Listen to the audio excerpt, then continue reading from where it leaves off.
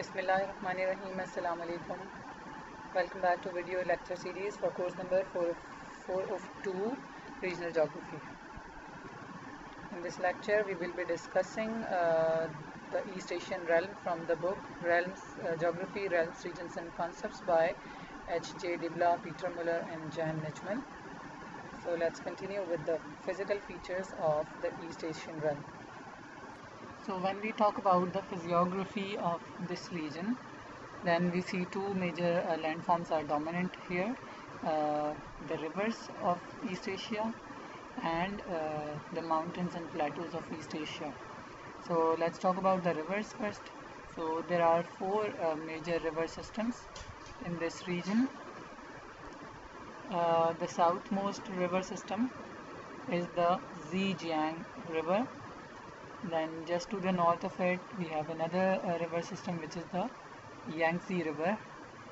Now there is one point to be noted that when we go along the Yangtze River we see the name is uh, changing over here and it's uh, Changjiang. So according to uh, the areas like this is the source of uh, the Yangtze River and uh, right after the source in the upstream area the river is called as Changjiang and when we are going downstream towards the delta this is the delta so towards the downstream it is called as the Yangtze river.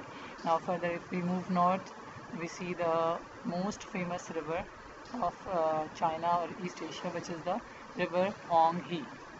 Honghe river is also known as the Yellow river.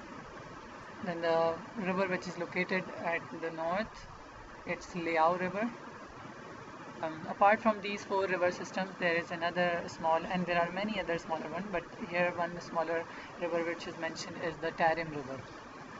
Another one is the Han River, right at the north of the Yangtze River. Then the Wei River, uh, a tributary of the Honghe River or the Yellow River.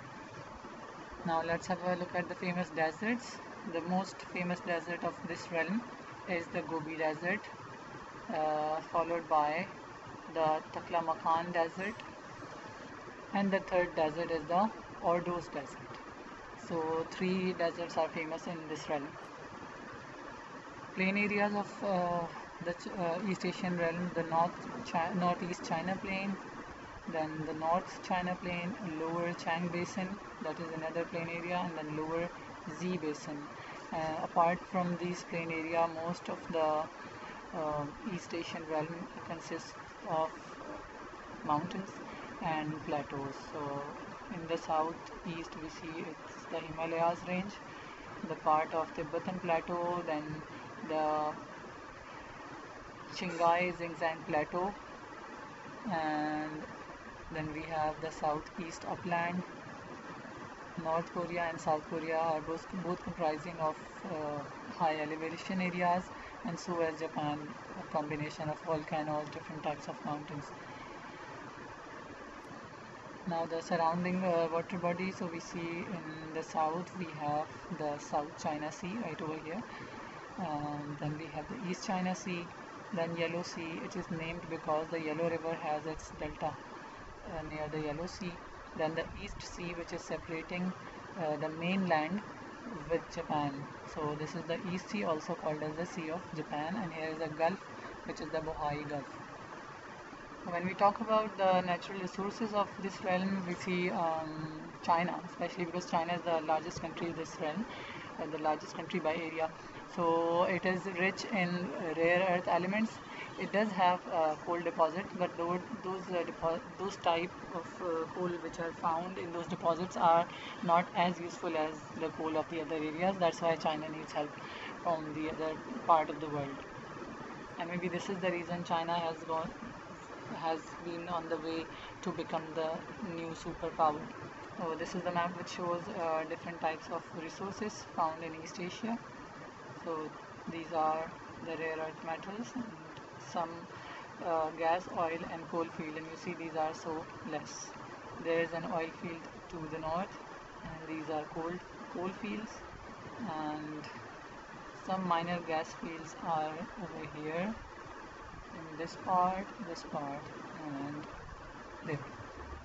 So it is said China has 95% of not China, sorry, the East Asia, East Asian realm has 95% of the known rare earth elements, but the other uh, known uh, resources like coal, oil, and gas is less.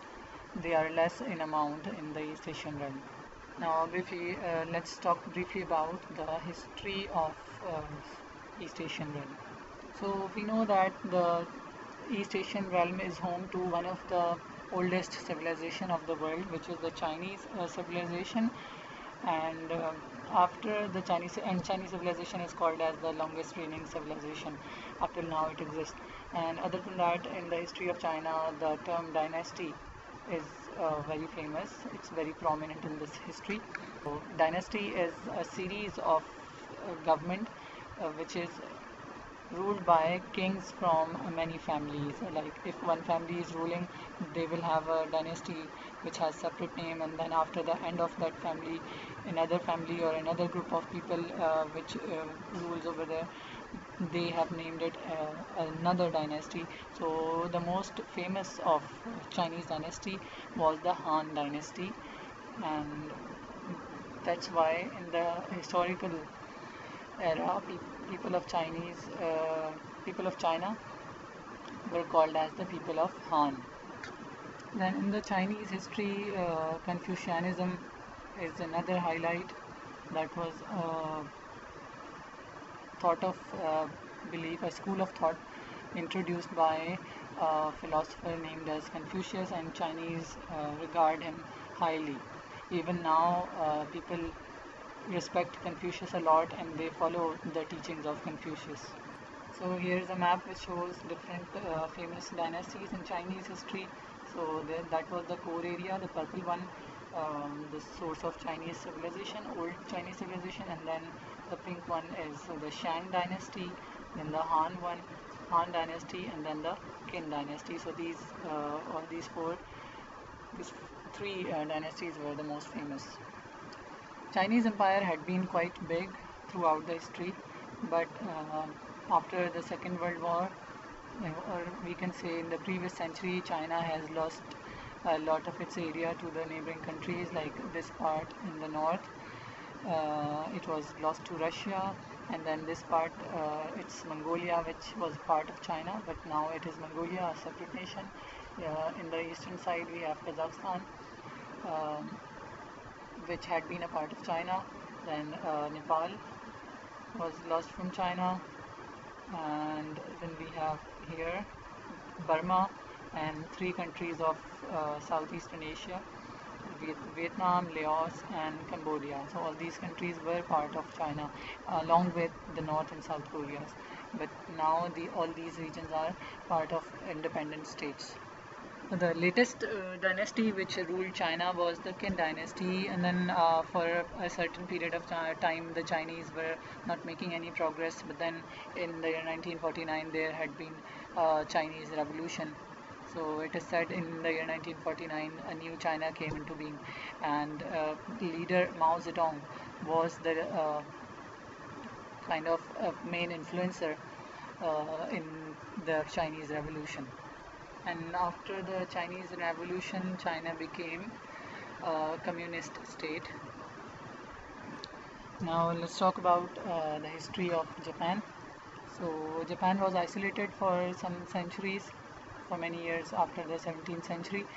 Um, after many years, many decades of isolation, finally the Japanese decided to open uh, their border for the outside world and that uh, change from isolation came under the name of the Meiji restoration. And after the Meiji restoration uh, Japanese started modernization and westernization. They they started adopting western culture.